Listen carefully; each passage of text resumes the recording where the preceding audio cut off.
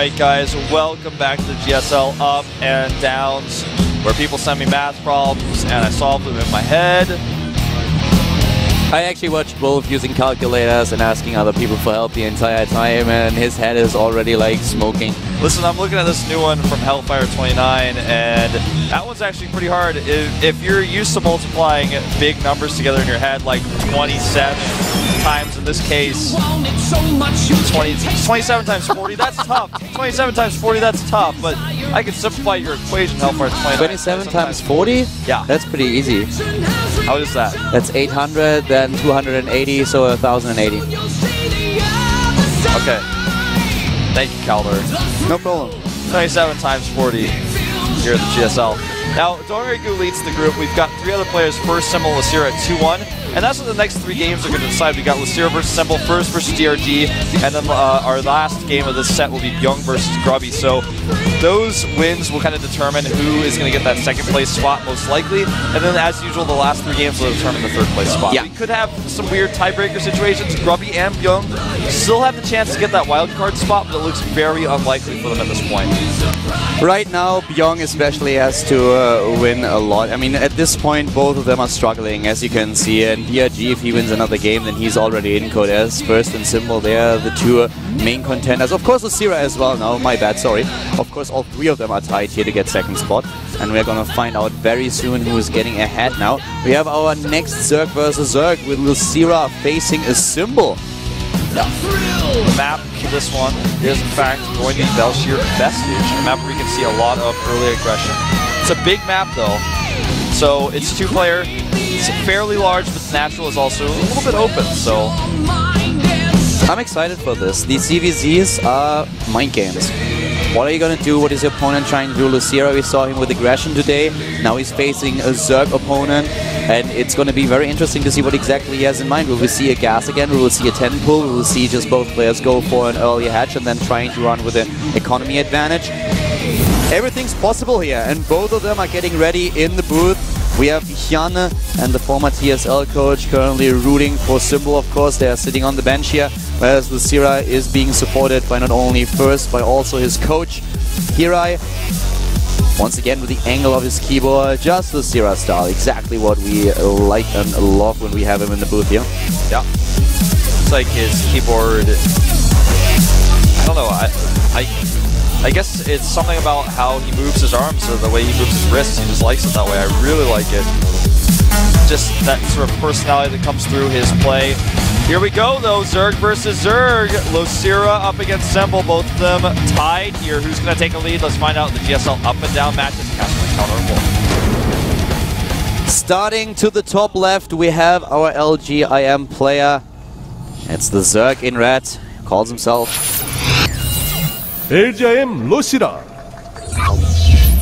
And I have to make amends. Earlier I said that he doesn't have a Twitter. I was wrong. Uh, thank you for all you guys who sent me a tweet and reminded him. His Twitter account is im underscore Losira. So if you support him, make sure to add him. At the bottom right, we have his opponent. It's the former TSL Zerg player called TSL Symbol. And Symbol was the one player who stopped the run of Losira in the GSTL two seasons ago. It was an unbelievable match. It was one of the best StarCraft 2 team matches that I have ever seen in my entire life, and I don't think that I will ever see something this exciting again.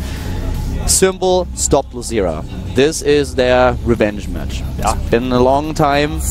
That changed the entire season. Yeah. Had Losira won that game, IM would have gone a little bit further, would have seen an entire diff entirely different champion. And that's actually what we see here on screen. That is the game that they have, the match history. And of course, we mentioned Losira's Twitter, so let's just talk quickly about the symbol. He changed his Twitter after TSL announced that they would disband. Now it's SC2 underscore symbol. Yeah, very true. The two of us, of course, if you want to follow us on Twitter, are at ProxyWolf is myself and at Khaldor, which of course has K H A L D O R. For those people who are bad at spelling. Or that just didn't know how to spell Khaldor. Because it's not entirely clear. You know, it's not. It's actually smart what you're doing here. You're like, okay, math is not mine, so now I'm just going for the spelling contest. I actually want a spelling bee at elementary school. but uh, Look at that. Okay. Did not win the math competition. I also did well at the geography bees. That was something I was good at back in the day. Ah, that's not really my thing. No, I was always horrible at that. I have to confess. I, I was good at it only in middle school, but when it was, came to high school, people asked me, "Oh, you're gonna try to compete?" I was like, "Ah, forget it. I don't. nope. I'm gonna play StarCraft all night. Sorry." I don't blame you. That's what I did. But look at these two builds; they're so identical that you can hardly, you can scarce see a difference. Yeah. Even the gas is only four off of each other. They're very, very similar. So, uh, speed is a bit faster here. We have speed for Symbol, whereas Losira is still waiting for the minerals, and then he will also start his own speed upgrade. Yeah, you just want to get a few extra drones first. The scouting information are available for, to both of them. They have the overlords in position, so no one takes a risk here. Both of them decide to go into uh, the late game. Or at least, let's not say the late game, but against uh, in, in the normal macro game. We have a, a bit of Overlord hunting going on here. The Overlord of Losira is actually chasing the Overlord of Symbol out of his base. It's like he was waiting for him and hiding. There they are. Look at that. Uh, somebody's got to call the police. Someone needs to report this. They've got an This is like- Overlord stalker. It's like watching snails race. He's like, all right, I'll quit. Don't call the police. Symbol's getting a restraining order for his Overlord right away. An overlord with a restraining order. says get away. He already got one for the Phoenix. He's like, ah, now I gotta get one for this Overlord too. Everyone just wants to follow my Overlords around. That is actually a picture that I would like to see. Uh, overlord chasing down a phoenix, not even with a speed upgrade. Yeah, I would love to see that. The tech is a little bit faster here for Symbol. Both of them are playing a very passive game at this point, but we have them with already the means of aggression. They could go for aggression right now. Losira decides to go into more drones, but we still don't have attack. He's getting passive banelings here in case that Symbol decides to attack. But Symbol is going for a lair tech that is a lot faster than Losira's. The Zerglings are now roaming across the map, and this is the reason why Losira decided to play it a little bit more defensive. But currently, he's actually not really doing a lot. He's droning it up, but he's not really ahead. Nice baneling hit there, though. That helped him. Yeah. But he's heavily supply blocked. He started his Overlord as soon as he was supply blocked, so he missed it. And now his lair tech is really late. Very late. Symbol also has more gas. He's probably gonna be able to use this to his advantage and maybe shut down Losira's third. Shutting down Losira's. Where are those drones going? They are a little bit lost. That was a bad rally there. Yeah, he must have accidentally clicked on the mineral patch somewhere. There's the Spire. And Wow, it's scouted. That's of course now unfortunate. I would not be surprised as soon as Ling is dead, maybe to see him even cancel it and go, for it. infestors. Yeah. Could be something that he's going to do. That's why the Link double checks. He's like, well, the longer I can make him keep this here, the better for. The Queen is just lazy. The Queen should just try He's to like, intercept "Ah, the just Zergling. get out of here. How many times do I have to tell you? Oh. No cancel though. No, he goes for he goes for the Spire. Meanwhile, his opponent getting that Roach Warren up. And he's already started plus one, Losira has. No third base attempt by that is. we have the third base now for Symbol. He's, he checks if Losira also has a third base, and Losira is going into Hydralisks. Right off the bat. Interesting. I have to say that Hydralisks as a... I have not seen this as a reaction against Mutalisks yet. Uh, usually most players decide to go straight into an infestation pit and just use the infestors. With a Hydra and Roach composition, if he pushes out, he needs to make sure that those banelings are not going to hit the Hydras. That's really important. And Ooh, he needs to save this drone, but he can't. uh, no third base just yet. Barely makes the extractor, but even that has to be cancelled. This is actually looking better and better for Symbol as time goes on because Yeah. he has his third base. He can defend his third base. That's something that Losira will really struggle to do. And on a map of this size, it's not like Losira can try to do a Hydra Roach push and end the game. He could try, but it's going to be extremely difficult for sure. It's also you need a certain amount of Hydralisks to really work well against Mutalisks. It's uh, not the same when you're facing Phoenixes, but it's still... If you have this burst damage from the Mutalisk and then just go for individual Hydras, you can do a lot. But with 7, for now he'll be fine. The main question to me is not really can he get his third base and what is he trying to do? Is he trying to push out with this? Because the transition for Symbol will of course hit at some point. Ah, and there's the answer. He goes for the Nidus network. Yeah, that makes sense. He's got a lot of overlords on the map. Because, you know, a problem is if he really moves out without the Nidus, then Symbol can just hit his main base. And if there's not enough defense, then that will definitely do a lot. And but actually- right now, he has what? to save his overlords first. Yeah, and you know he's got two, but you know that's that's pretty much a lot when your opponent's playing Mutas. But that's just because Symbol is much more concerned about the Banelings, and he's gonna lose one Overlord here. The second one is already spotted. So his Nidus is only going to be used on the ground. He can't actually use it in any of the main bases, and without Speedlings to to put that Nidus up forward, this is going to be very unlikely to work. I have to say, admittedly here. Well, he can also just use it to reinforce and to have an exit strategy ready. He's getting more and more Mutalisk though, that symbol that is, and the queens are crawling across the map. There's the Nidus. He's using it with his ground forces. This will also give him an option to defend. But this is exactly what I said earlier. He does not really have the numbers just yet to deal with those Mutalisks. There are not enough Hydras. And Symbol is taking this chance. He wants to take him down, but now suddenly the Nidus is ready and the Queens emerge. And against the Queens, it's a bit of a different story, but three of them are just not there yet. Yeah, you can actually target down the Nidus if he wants to. Goes for the Uh, Queens I am not quite sure about the... Well, they don't have the energy anymore. Two transfuse is all that they get. And suddenly the anti is gone. Symbol makes a good choice here. He needs to pull those weakened mutas back. Could have done a lot better here, but it doesn't matter. He kills the Nidus now. The attack in the natural, though, is a big concern. He's losing a lot of drones there. Yeah, and the Mutalisk will take quite a while to clear up all those roaches. How much damage can Losira do before Symbol is able to force him back? He's hesitating a little bit, though. He goes for he goes for the Roach Warren first, and then, you know, at this point, he doesn't kill too many drones. He may get this queen. That's really important. Nice micro by Symbol. Workers killed only one, and we have three bases against two. That's a big, big problem for Losira now. He's dropping behind in supply. We have Symbol now also with the pathogen glands on its way. Another attempt is Nidus. Another attempt at Nidus to the left side of the map for Losira, and he is in trouble. There are so many Mutalisks right now. This is really difficult for him uh, to handle. The Nidus is undetected.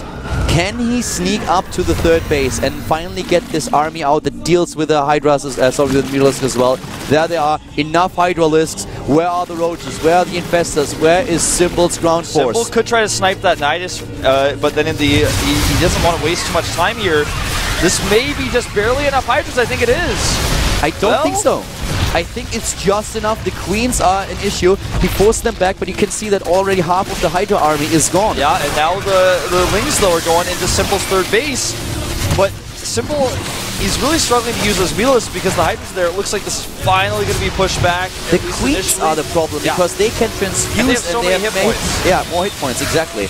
Now the is so Hydralisks close, focus down actually. Muta after Muta.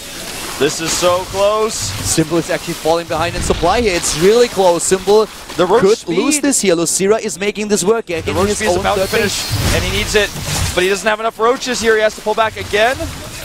And Losira just using great micro here, great zoning. Ah, Symbol now has a lot of army. He's trying to save his third base. He's running down the ramp, but he's always backing off. And the third is the gone. hatch. Yep. Losira now in a position where he has to be careful with his army. Symbol has a lot here trying to take down those queens. No transfuses anymore. That's uh, the lone Hydra is trying to damage the Hydra, the roaches, but now we have the reinforcements for Losira streaming in. He's still ahead in overall supply. The tech is still better for Symbol, but he lost the third base, which is a big problem now as Losira is about to get his own third. Yep. Dice is taken out. Losira in a a position now where he's taken the next step. He's been able to push himself a little bit ahead in this game, but even that considered, I I fear for Losira's late game because he's, he's now you know losing some more units. This gives Symbol the opportunity to take his third base. Does we actually lost our ability to observe, so I don't know if Symbol has pathogen guys. Were you able to see if he has that upgrade or not?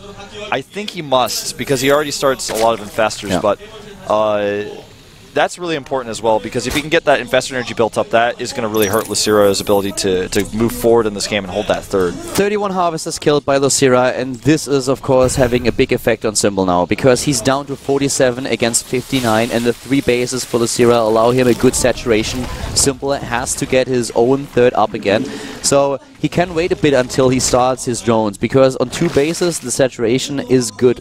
He has enough drones for that, but as soon as the third is really done, he needs more, and now he's getting another round of five. He has the better tech though. Losira's Infestation Pit is very, very late. Symbol already has Infestors on the map. He is accumulating all this energy that he needs. This will give him an advantage in the next battle. So the late game, as you said, is a bit of a problem for um, for the Losira. But he did a lot of damage with this. He did more than I thought he could um, he could do. So well played here. This is this is absolutely really Well- close. I mean, you know, Symbol has the ability now to take a fourth base. I feel with the infestors he has, but on this map, is that something he wants to do? It's something you might see on a map like Entombed Valley, for example, in a ZVZ that goes this long. But on this map, the fourth is so far away and so risky. It's just like with good fungals, you can do so much damage against Hydralisks, and he also has good upgrades, and he never stopped the Infestor production. So the next fight is going to determine a lot in this game. It's going to change the course of this match, and the fourth base is now being built first for Losira, to the right side. There are the Infestors, most of them nearing full energy. We have 9 in total against 0. The Roach count is of course much better for Symbol as he doesn't have Hydralisks, but 18 Hydras for Losira are having a lot of damage out. Yeah, it's all about the fungals of Losira, but without infestors, you know, just yet, that's not going to be even something he can use. But if he gets good fungals, once he has those infestors out, the Hydra damage output will be much better for him. This game is really close. The, Yeah. the way that he killed that, that base and then was able to get his own base up kind of equalized things, but I still feel like Symbol has a pretty good lead. Losira is going to have to turn things around with his micro, which is something that actually allowed him to take that, that base down in the first place. Losira is also getting another base, so he's going not only into four but into five bases. And if Symbol waits too long, then the economy will give Losira the opportunity to get ahead in this match. Also, the more time passes, the better for Losira because he can just supplement his army with additional infestors, and then he will get even in the infestor count. He will be able to build up that energy on them and have this potent composition of Right. Roach, Hydra, and also infestors. So it's a very cool, difficult, uh, very difficult game to judge now. But Losira is actually in a position where time works in his favor, and I am afraid a bit of a symbol now. Losira even getting the plus to armor upgrade. Symbol already has plus to attack. Is starting the first armor upgrade here. Doesn't have range for his own Hydra Hydralisks now. And here comes the first battle. Yeah, Losira has a lot of those Hydras we talked about before, but fungals here are good, and there's so many Infested Terrans to add actual real army supply. It's a really good position for Symbol, but does he have the roads at the front to deal with all of this? It looks like he does. He's taking out a lot of supply here, but Losira is still in the overall supply lead and has those two extra bases that will give him the economy. the He's bank. forcing Symbol back, and Symbol is running out of energy. Yeah, Symbol's out of energy, he's out of money really as well, and he doesn't have Burrow. Ah, he doesn't have Burrow and he can't save And the even Infestors. if, even if he had, there's an Overseer here. There's so much DPS in these Hydras now for Losira. He may be able to take this one all the way home. Losira in a great spot with the extra economy that he has. He is reinforcing his army, his 50 supply ahead of his opponent. He's pressuring into the natural now. Those Hydras doing a lot of damage with the plus to attack upgrade and forcing Symbol into submission. He's trying to hold on the former TSL player with problems, and there it is. GG. Game over. Symbol has to submit, and Losira takes another win, is now on 3-1. A very important win for him. He could be tied with Losira uh, with Symbol later on, and if that's the case, he will get the advantage. Well played. And Symbol now, bit in trouble. Big, big trouble. That was that was a great way to deal with. I mean, Losira was so behind in so many different ways in that game uh, that what he did with the Nidus was a big risk, but he executed it so well. His positioning, his micro, all all the things he used to turn that game around. Really used the map against Symbol in such a way that Symbol couldn't punish him in return. It was actually quite awesome. This also means that Young is in Code. Young up to this point had a chance to uh, end up on the third place and uh, be tied, get a chance to uh, have this wildcard spot on in the Friday group, but this is not the case anymore because he at this position could only be tied with players that he lost to, so Young is in Code A. There is no, there's nothing he can do anymore. He cannot get third place in the group. And the next game that we have at hand is First versus DRG, First versus Dongraegu. And of course, with the score that we have for the strong Zerg player for Team MVP, if he takes another win here, he is in Code. No, uh,